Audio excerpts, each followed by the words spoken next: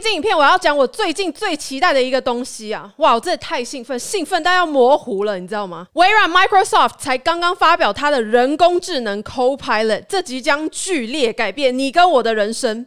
今天这一支懒人包你看完，希望你也会跟我一样，非常的嗨。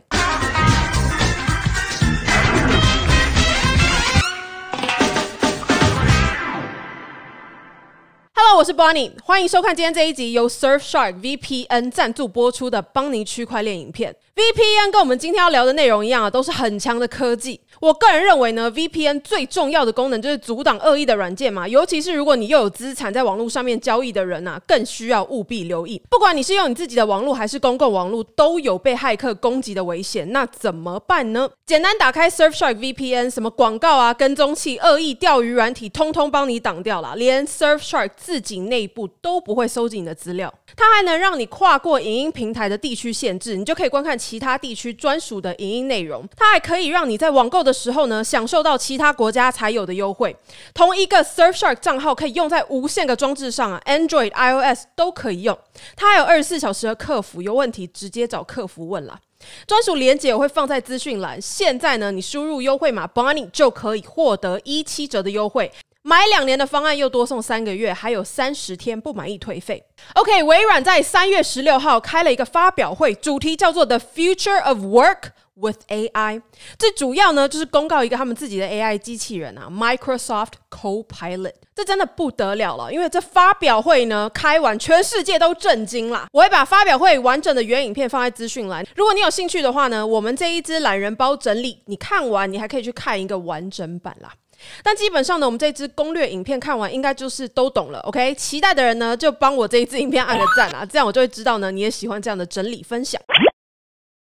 这场发表会呢，是微软的执行长萨提亚最先出现了。他说呢，今天开始是人类跟电脑互动的历史新篇章了。微软呢已经翻到下一页了。他现在是讲了我们现在已经熟悉的 AI，比如说我们在 YouTube 上面看影片的演算法。YouTube 在你看完影片之后呢，它要推荐哪一部影片当你的下一支片子呢？或者是我们看过的网站广告，我们买东西的时候，购物网站是不是都会在你结账的时候多跳一个东西出来，推荐你说这些东西也可以一起买？这些呢，他说是这个时代的 AI。很多时候我们根本不知道这个 AI 存在啊，因为说真的，这些功能对我们用户来说啊，好处根本没那么多，对不对？所以呢，我们也不在乎啊。沙恰把我们现在这个世代的 AI 叫做 Autopilot，就是自动驾驶啊。我们看不到也摸不着，但是呢，他说接下来的 AI 是完全不一样的，它是要用用户的角度来出发了。所以呢，微软把它叫做 Co-Pilot，也就是副驾驶，名字取得不错，对不对？概念很棒。也就是说，从现在开始，你跟我就是正驾驶啦。下个世代的 AI 当你的助手，就会当你的副驾驶。我把这一段的总结呢，是他说他要帮你找回工作的快乐，那些繁杂啦、琐碎啊、讨厌的事情，让你的副驾驶来帮你做吧。再来了，商业应用副总 Jared 接棒，他先是讲了一段很有意思的话。From an early age, we're asked. What do you want to be when you grow up? Our answer is a reflection of what excites us and the value that we seek to bring to the world. Even at a young age, we know work is meant to be more than just a job. Nurses are called to care for people, scientists to make a new discovery, artists to create something brand new. At its best, work not only feeds our families, it feeds our souls. But today, the reality often falls short of that promise. We spend too much time consumed by the drudgery of work, on tasks that zap our time, creativity, and energy we become separated from the soul of our work. 他说呢，哎，你的潜能绝对不止现在这样，准备大爆发吧。微软 Copilot 它其实就是一个聊天机器人 Chatbot。聊天机器人的意思不是说真的要来跟你闲聊的，你把它想象成一个能力很强的这个秘书机器人好了。它可以听得懂你给它的工作指令，而且呢，它可以瞬间帮你完成你想要它做的事情。这里说了，他把 large language models 巨型语言模型 LLMs 结合你在微软所有的这个应用程式里面的数据，比如说你的电子邮件啊、日历啊、聊天室啊、文件啊、你出席过的视讯会议跟你的通讯录，再加上他们所有的应用程式，比如说 Word、Excel、PowerPoint、Outlook、Teams、OneNote 全部连接在一起。另外呢，他们又发表了一个新的功能，叫做 Business Chat 商务聊天啊，这个也会跟其他的应用程式连在一起，也就是说，你可以给机器人一个跨应用程式的指令，这个指令呢，就是你平常讲话的状态就可以了，就像我们现在讲话的状态啊。全球最厉害的生产工具吗？你的说法跟打出来的文字，比如说你有即将要来的会议，可以跟他说：“帮我把即将到来的会议做好准备。”AI 就会帮你生成了。以下就是一些即将到来的会议要准备的一些主题啦，像是项目的最新进度、各种 update 都会跟你说。你也可以跟他说：“帮我写一个 Cafe AI 产品公告草稿。”然后他就这样帮你写好了。而且是一项一项帮你分别列出来啊，你可以直接在上面编辑、修改，或者是直接存起来。这就代表你再也不用坐在空白页面前面发愁发呆，写不出东西啦。在 Word 文件里面呢，你可以要机器人，比如说自动创造内容，帮你总结重点。比如说，你可以跟聊天机器人说：“哎，你帮我写一个我要给我弟的这个生日卡片啊，里面加一个笑话。” Copilot 就会帮你写出一个生日卡片的内容了。当然，不满意的话，你可以叫他重写啊。比如说，我觉得笑话不好笑，请你重写一个，没问题，他立刻重写。你也可以叫他帮你写工作的文案。Imagine you're leading a team at a global manufacturing company. And you want to create a rock solid customer proposal and you don't have time for writer's block. Let's see how Copilot can use your customer notes in OneNote as well as another internal document. Copilot quickly creates a first draft. Now, you probably want this to look like your previous proposals. Copilot can give you a draft in the format you typically use. It inserts product images and pulls in relevant visuals from other files. 或者是说呢，你可以让他总结一段文章的重点，你还可以在这个聊天室贴一个文章之后，跟他说：“你帮我总结这一篇文章的三大重点。”这样，你如果遇到比如说很长的文章，你又懒得看，没时间看，你就可以直接看重点，多省时间呐！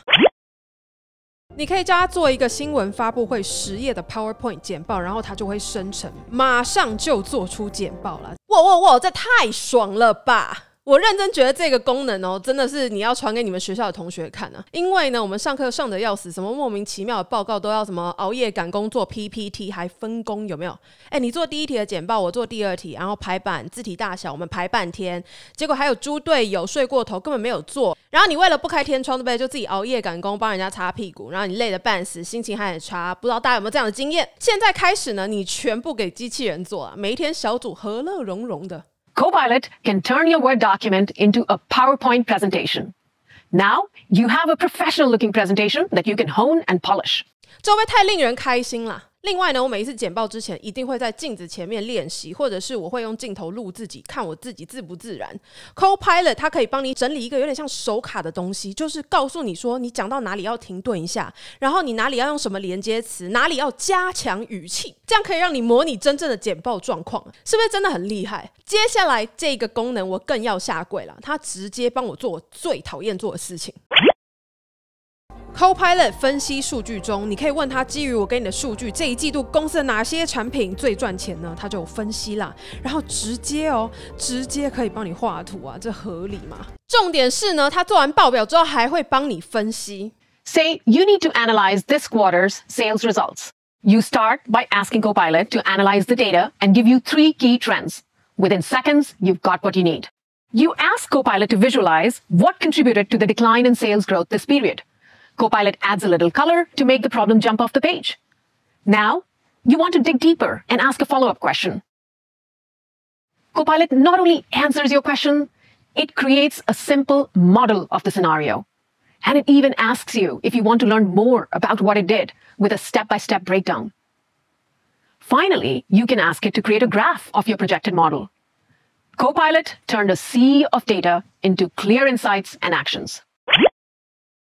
你可以加写一个 email 草稿，告诉对方说我同意。另外呢，加上一个 PowerPoint 文件里面提到的重要风险。你看到重点了吧？就是你可以要机器人把另外一个应用程式，也就是 PowerPoint 的讯息，直接跟你现在要的东西整合起来。微软的电子邮件程式叫做 Outlook。机器人呢，除了可以用你想要的口吻语气帮你瞬间写好一封信啊，不管你是要非常专业的用字遣词啦，还是说你想要非常 chill、非常轻松的用词，你都可以直接跟他说。他还可以把其他人寄给你的信呢整理。成重点，节省你的时间，或者是呢，你可以用你自己写的文章，你叫他 copy 你文章的语气。如果你参与一个视讯会议，但是你迟到了，他可以帮你把会议的重点都列出来。机器人它在扫描会议记录之后呢，列出上面这是你错过的这一部分啊，非常贴心。这里就真的很强了。大家在视讯会议软体里面讨论的东西呢，机器人它直接帮你用文字记录下来。想一想，你就会觉得天哪，这机器人的理解程度太猛了吧？是不是比你公司很多其他人都还要猛？你可以跟机器人说总结会议的重点，或者是说呢，你刚去上厕所，然后错过了，比如说 Bonnie 的发言啊，你就可以跟机器人说：“哎啊，刚刚 Bonnie 讲了什么啊？你帮我总结一下嘞。”不然呢，你可以在开会之前先把讨论的主题全部贴给机器人。会议的最尾声，对不对？你可以问机器人确定一下，说：“哎，我们该讨论的议题全部都讨论了吗？我们有没有漏掉哪一点呢？”最后，我们刚刚说过，PowerPoint 啊、图表啊，全部都可以按一下直接生成哦。以下呢，这一些是你可以叫机器人帮你完成的工作。你可以问他哪一些产品最赚钱啊？帮我写一个预算提案吧，做一个时间表，或是定一个流程。我们的产品跟竞争对手的产品比起来怎么样？还是人家对我们的东西评价怎么样啊？写一个 SWOT 强弱分析吧。或者是列出增加我们粉丝的方法，这些他全部都能包办，而且很多都是大部分人讨厌做的事情，对吧？在下面留言告诉我，你最讨厌做微软哪一个应用程式的哪一部分呢？有一些人是 Excel，有些人是 PowerPoint，我个人应该是 Excel。What if the tools could learn how you work rather than the other way around? Copilot unlocks all the richness of these apps through natural language. Let's start with a real life example, like a high school graduation. My daughter recently graduated from high school, so this is really top of mind for me. Let's say I want to throw her an amazing graduation party.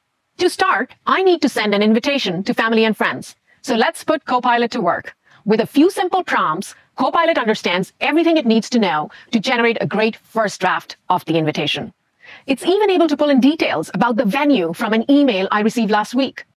With that done, this is my opportunity to create a loving and let's be honest, a little embarrassing slideshow to celebrate the occasion. I kick things off with Copilot, providing a little information to get started. I add some details about my daughter. I can also change the style so it creates something fun and festive. And Copilot goes to work, finding the right words and searching my OneDrive for the best photos. In seconds, Copilot generates a beautiful presentation 这就呼应到我们前面提到了，基本上从零开始的工作，让 AI 帮你做，你最终有决定权啊！你可以决定最终的版本，你可以叫它一直改啊！最棒的是，你怎么叫它改，它都不会生气，没有脾气的。刚刚我们讨论所有的功能都已经开发好了，微软现在呢，它给很多家他们自己的客户来进行测试，预计是会在未来几个月正式跟你我见面，只能说非常非常的期待，好不好？这一种方式完全颠覆我们从小学习这个制作文件的方式啊！我最受不了的这些繁杂的东西，居然变得这么容易啊！这么好玩的感觉，其实它是一个很好的提醒。也就是说呢，我们要重新问一下自己了，问问自己说，我会的技能是不是很快就会被取代了呢？那我做得到什么 AI 做不到的事情呢？如果这种比较精准的计算数学对 AI 来说是轻而易举的东西，那不能取代的是什么呢？我想要开放问一下大家的意见呢？你会觉得微软 AI Copilot 的出现会不会危及到你现在的工作呢？大家在留言区分享一下，你如果觉得会危及到的话，就打一；不会危及到你的工作，反而会帮助到的打二。如果你是一个 I don't care 的人，我只想要躺平不工作的人，就直接打躺。平好吗？我想要知道，很好奇大家对于 AI 出现的这个情绪的反应。另外呢，如果你愿意在留言区分享你看完这一支影片的第一个感受，我真的会很开心啊！就是你会不会觉得天哪，这太夸张了？还是你觉得，哎，我早就预料到这种科技本来就会很快出现的？你们到底在惊讶什么？我个人的想法是说，AI 出来的这一段时间，因为他们进展的很快嘛，所以没几天就有更强的版本出现，对不对？很快，最占优势的人其实是拥抱这些很厉害的工具，然后接纳这种。快速改变的人，你如果真的很认真去学会 AI 可以怎么样更好的帮助你，你还是会走在大家前面的，这是我觉得必然的一个结果。最后，我们再一次谢谢 Surfshark VPN 赞助这一支的影片了。我们在市场上继续努力，下一次见，拜拜。